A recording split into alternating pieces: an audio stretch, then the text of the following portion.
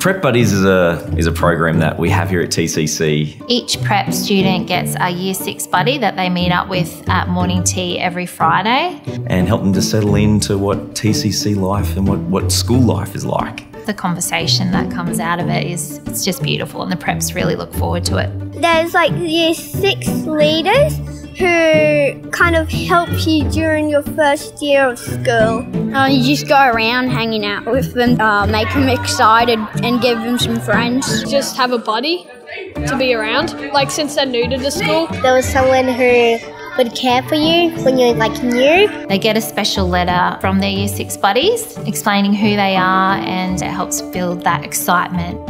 You can go play on the playground with them. They were kind to me and they helped me do the monkey bars. If the preps know some of the older students in the school and they see them around the school, it's going to help them to feel more comfortable. And it helps them to kind of break barriers and help them feel a bit more comfortable with being at school. Because preppies sometimes are too shy to go around to each other and just stay by themselves doing nothing. I was a bit scared because I was little and I had just come from kindy. New people, probably first time schools, and it's just a bit nerve wracking. Uh, from the year six student point of view, it helps to show the year sixes that servant leadership, that ability to think beyond themselves, to think of someone else. Like setting a good example. Probably trying to be a little bit patient in that. It's pretty hard.